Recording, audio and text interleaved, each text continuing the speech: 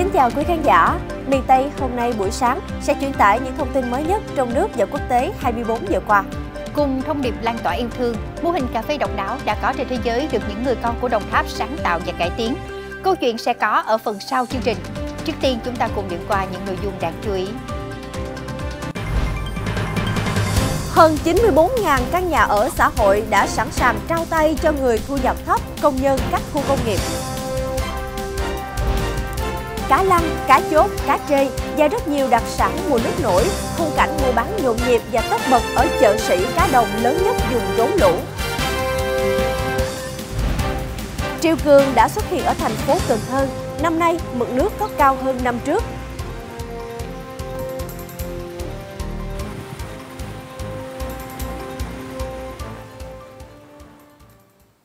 Tin chi tiết để đáp ứng nhu cầu hoạt động trong tình hình mới, Công an tỉnh Sóc Trăng vừa triển khai tổ chức bộ máy theo mô hình mới, thành lập phòng an ninh mạng và phòng chống tội phạm sử dụng công nghệ cao. Đến tham dự có đồng chí Trần Giang Lâu, Phó Bí thư tỉnh ủy, Chủ tịch Ủy ban Nhân dân tỉnh Sóc Trăng, Phòng An ninh mạng và Phòng chống tội phạm sử dụng công nghệ cao gồm 17 đồng chí, chia thành 3 đội nghiệp vụ có chức năng nhiệm vụ tham mưu lãnh đạo công an tỉnh trong việc thực hiện các biện pháp phòng ngừa, phát hiện, ngăn chặn và xử lý hành vi vi phạm pháp luật, tội phạm mạng, tội phạm sử dụng công nghệ cao. Lãnh đạo tỉnh Sóc Trăng yêu cầu đơn vị mới thành lập cần nêu cao tinh thần đoàn kết thống nhất, nhanh chóng ổn định, khẩn trương triển khai thực hiện theo chức năng, nhiệm vụ, phát huy vai trò nồng cốt, xung kích trong công tác phòng ngừa, đấu tranh có hiệu quả với tội phạm và vi phạm pháp luật trên không gian mạng. Bộ Xây dựng cho biết đã hoàn thành xây dựng 181 dự án nhà ở xã hội với hơn 94.000 căn hộ, tổng diện tích hơn 4,8 triệu mét vuông.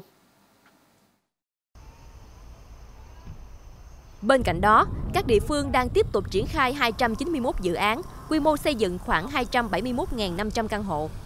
Theo đề án được Thủ tướng phê duyệt, trong giai đoạn 2021-2030, cả nước sẽ xây dựng hơn 1 triệu căn nhà ở xã hội.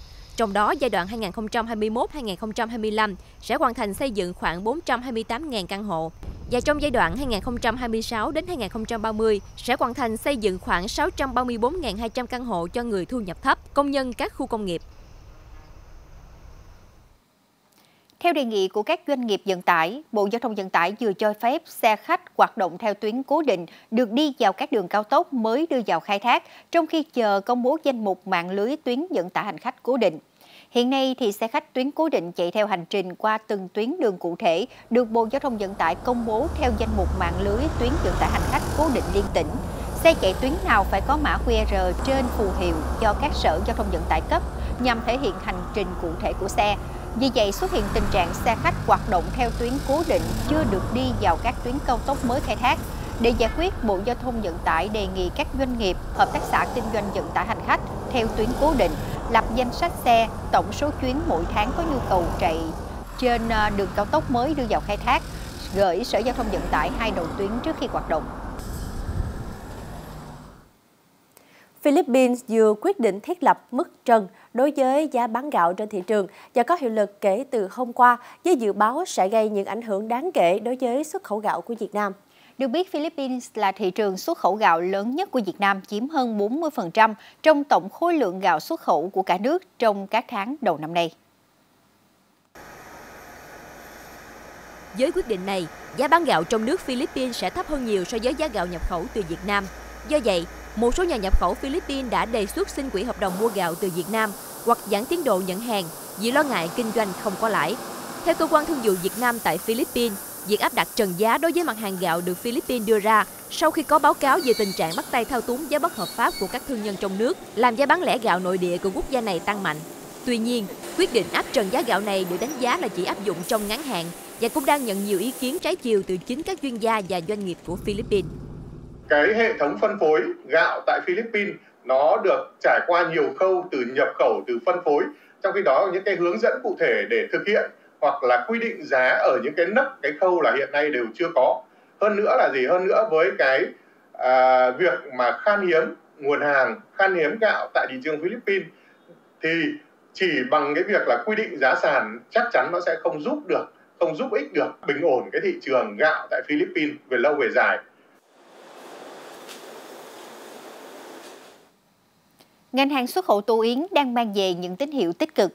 Nhiều địa phương nở rộ việc nuôi chim yến để đáp ứng đủ nhu cầu xuất khẩu. Tỉnh Kiên Giang hiện đứng đầu cả nước về số lượng nhà yến với gần 3.000 căn, trong đó có hơn 1.700 nhà xây kiên cố. Số nhà yến tập trung chủ yếu tại thành phố Rạch Giá với 872 nhà và Hòn Đất là 708 nhà. Sản lượng yến sào 8 tháng đầu năm nay ước đạt 8 tấn, đạt 46% kế hoạch năm. Hiện Chi cục chăn nuôi thú y tỉnh Kiên Giang đang xúc tiến các thủ tục hướng dẫn hoạt động nuôi, thu hoạch, chế biến và xuất khẩu tổ yến sang thị trường Trung Quốc. Về cấp mã số, do quy định vẫn đang trong giai đoạn dự thảo nên chưa chính thức. Song trước mắt, chủ cơ sở nuôi chim yến cần đáp ứng quy hoạch dùng nuôi của địa phương, đáp ứng quy định về độ ồn và thời gian phát loa, dẫn dụ, ghi chép và lưu trữ thông tin về hoạt động nuôi yến phục vụ xuất khẩu. Thời điểm này tuy mới vào mùa nước, lượng cá về chưa nhiều, nhưng tại chợ cá Trường Xuân ở huyện Tháp 10 đã tấp nập mua bán, tạo nên không khí nhộn nhịp của một chợ uh, sĩ thu mua cá đồng lớn nhất dùng Đồng Tháp 10. Chợ hoạt động từ tờ mờ sáng. Dù mới vào mùa, nhưng lượng cá đồng về chợ rất phong phú như cá lăng, cá chốt, cá trê, cá chèn nhiều loại, cá rô phi. Sau khi thỏa thuận được giá, cá được mang lên dựa để cân ngay, nhanh chóng mang cá lên xe tải để kịp giao hàng tại thành phố Hồ Chí Minh và các tỉnh miền Đông Nam Bộ. Nhờ có bình oxy nên vận chuyển đi xa dễ dàng, không lo hao hụt. Hiện tại, chợ có khoảng 10 dựa thu mua cá. Dù lượng cá đồng vài năm trở lại đây ít hơn trước, nhưng không khí mua bán vẫn rất nhộn nhịp. Nguồn cá phong phú với lượng khá là tín hiệu của một mùa nước ăn nên làm ra cho người dân nơi đây. Trong khi đó, mỗi khi đến triều cường, người dân tại các đô thị lớn lại thêm lo lắng. Được triều cường rằm tháng 7 âm lịch vừa qua, nhiều tuyến đường ở khu vực trung tâm thành phố Cần Thơ đã bị ngập nước khiến cho xe cộ chết máy, giao thông bị rối loạn. Theo dự báo thì triều cường sẽ còn tiếp tục lên cao vào con nước rằm hoặc 30 những tháng tới. Điều đáng nói là dự báo năm nay, tình trạng ngập do triều cường sẽ nặng nề hơn. Mưa lớn kéo dài kết hợp cùng triều cường rằm tháng 7 âm lịch đã gây ngập nhiều tuyến đường trên địa bàn thành phố Cần Thơ vào những ngày đầu tháng 9.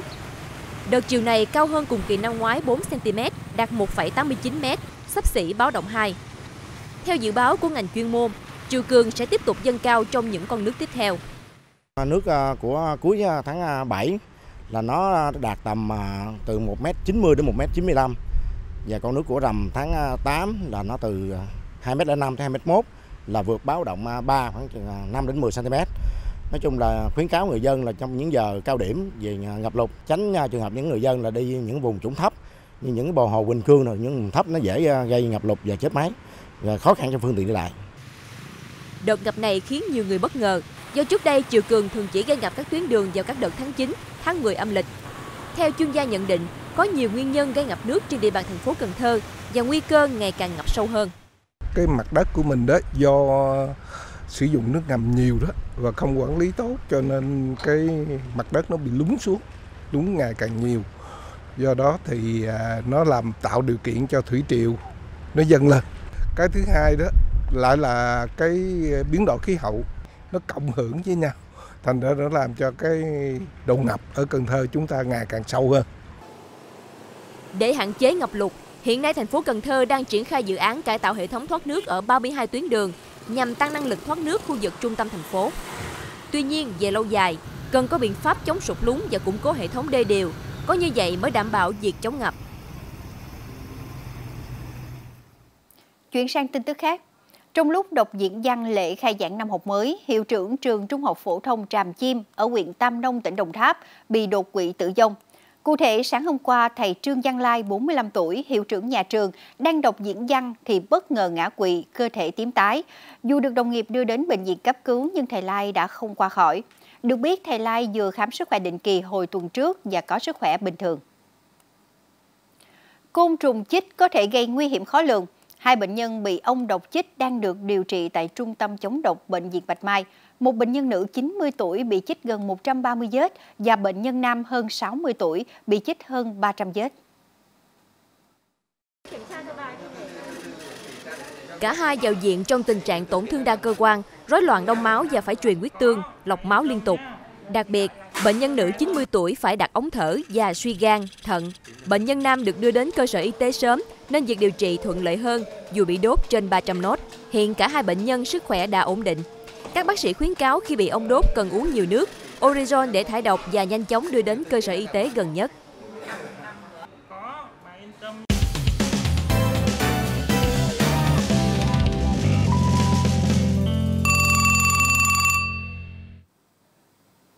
Nhiều ngày qua, số điện thoại đường dây nóng 0901 282 282 của VTV Cần Thơ liên tục nhận được phản ánh của hàng chục hộ dân tại xã Sơn Phú, huyện Dòng Trơm, tỉnh Bến Tre.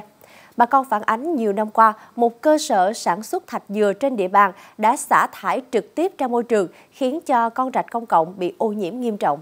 Điều này đã gây khủng hoảng mùi hôi, làm đảo lộn cuộc sống và đe dọa trực tiếp đến sức khỏe cộng đồng.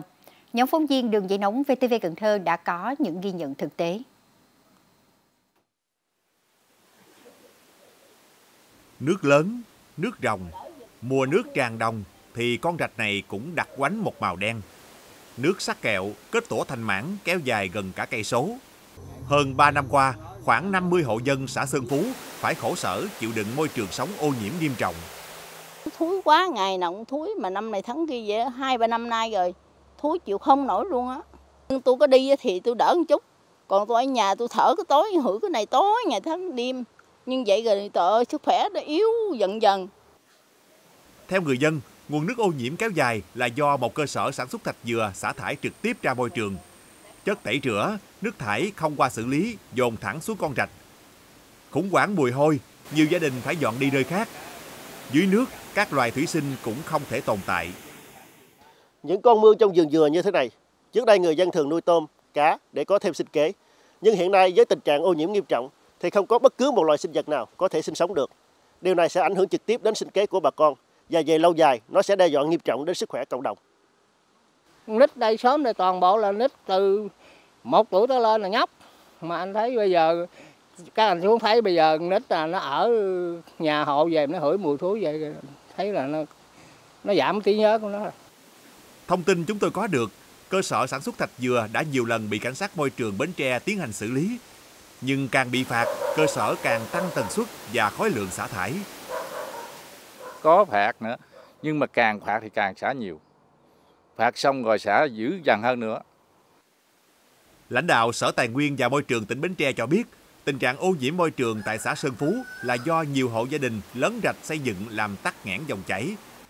Việc người dân tố cơ sở sản xuất thạch dừa xả thải, Sở đã tiến hành kiểm tra nhưng chưa phát hiện có khả năng là một số cái cơ sở sản xuất uh, có có xả thải nhưng mà tại thời điểm tra thì chưa phát hiện được cho nên là việc này thì à, về mặt chuyên môn thì à, các cơ quan chức năng đang tiếp tục theo dõi kiểm tra à, sẽ xử lý nghiêm nếu phát hiện sai phạm không phải tự nhiên mà người dân tố cơ sở sản xuất thạch dừa bức tử môi trường. Hơn nữa, cơ sở này cũng đã nhiều lần bị phạt.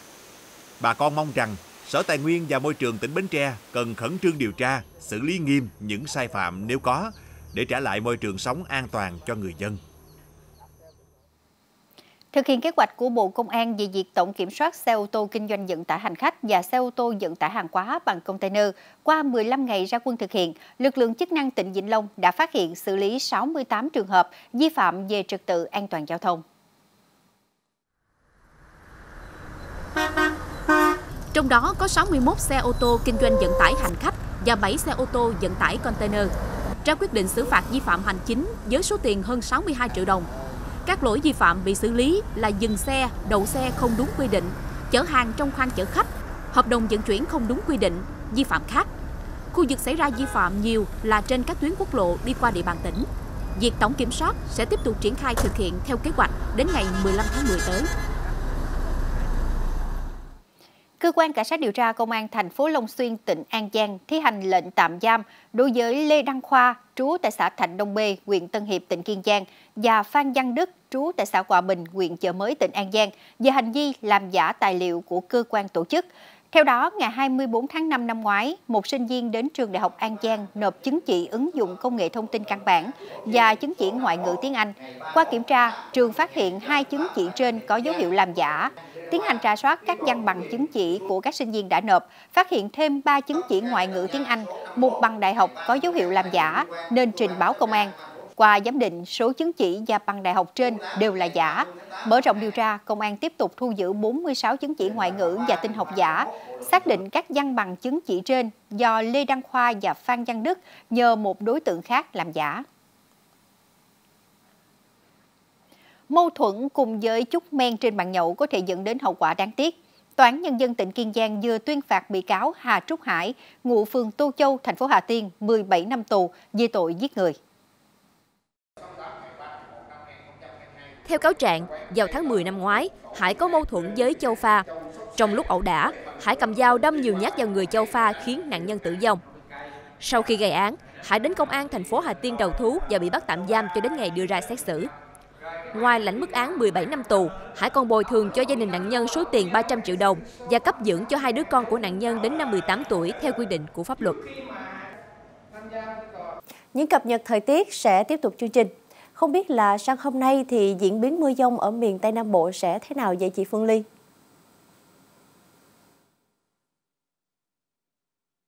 Chào ngày mới chị Kỳ Hương và quý vị khán giả.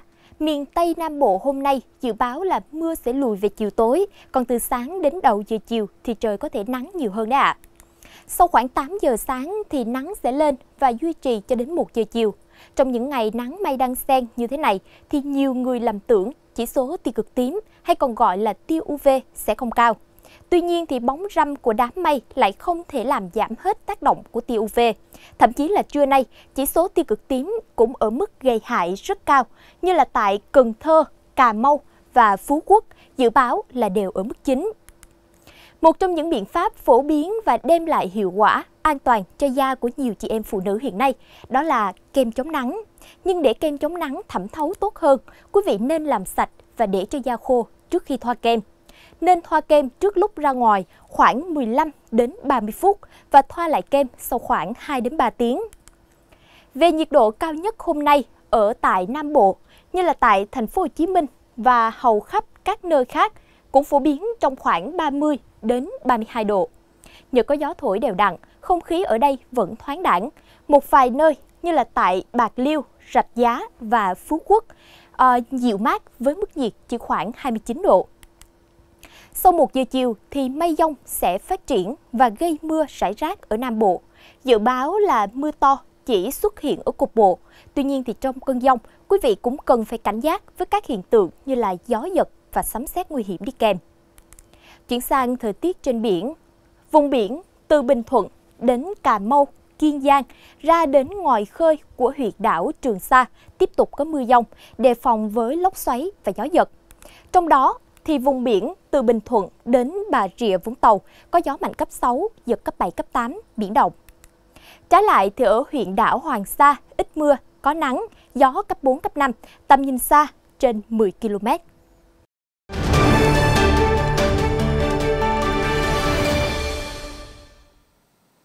Không chỉ tự mình thưởng thức cà phê, việc ngồi quán cà phê gọi một món nước lại mang nhiều giá trị khác nhau cho cả người bán, người mua và cho cả cộng đồng.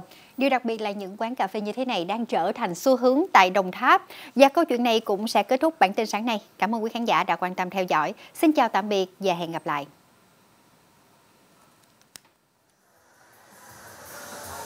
Ở đây có ai đó trả tiền ly cà phê của bạn là dấu hiệu nhận biết của mô hình cà phê treo khi đến quán, người mua có thể gọi bất kỳ loại thức uống nào, trả thêm bất kỳ số tiền nào.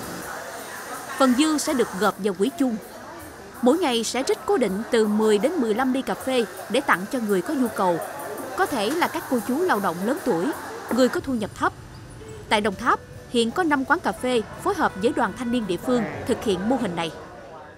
Người nhận thì à, người ta sẽ à, cảm à, thấy là nó thoải mái hơn sau khi mà nhận được một món quà từ ờ, một người lạ mà người lạ thì người cho thì người ta cũng cảm giác là mình sẽ đã cống hiến được một cái gì đó cho cái xã hội không chỉ có cà phê treo, mô hình cà phê pháp luật cũng được nhiều người dân tại Đồng Tháp ủng hộ. Tại đây, mọi người sẽ được tư vấn pháp luật miễn phí. Đồng thời, những tủ sách pháp luật cũng được sắp xếp để người dân thường xuyên tiếp cận. Giống như một buổi mà đi cà phê chứ không có mang tính mà hành chính quá như là mình đến một cái trụ sở cơ quan thì à, người dân có thể trao đổi thoải mái trình bày vấn đề của mình còn lăn tăng thì các bạn bên đoàn thanh niên, công an cũng như là bên tư pháp sẽ nhiệt tình tư vấn từng trường hợp. Còn tại thị trấn Lấp Giò, lợi nhuận từ mô hình thanh niên coffee đã trao tặng 5 suất học bổng trị giá mỗi suất 1 triệu đồng cho các bạn học sinh có hoàn cảnh khó khăn và tiếp tục sẽ triển khai trao tặng vào đầu năm học mới. Sự sáng tạo trong lựa chọn cách thức tiếp cận, những mô hình cà phê tại Đồng Tháp đang mang lại đa giá trị thiết thực cho cộng đồng. Xuất phát từ mô hình cà phê, chúng tôi cũng mong muốn tạo ra một cái sự kết nối khác mang đến với cộng đồng ý nghĩa nhân văn sâu xa và đặc biệt là cái nghĩa cái tình của người Đồng Tháp để làm sao mà có thể từ những cái mô hình từ những cái địa bàn này để chúng ta lan rộng ra. Đây không phải là lần đầu tiên Đồng Tháp xuất hiện mô hình lấy cảm hứng từ quán cà phê. Và tỉnh đoàn Đồng Tháp đang tiếp tục phát huy những mô hình cà phê đa giá trị nhằm đồng hành cùng đảng bộ, chính quyền nối dài lợi ích cho cộng đồng, xã hội.